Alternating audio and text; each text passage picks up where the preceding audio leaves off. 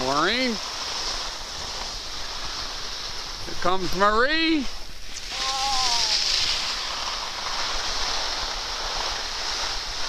Kay.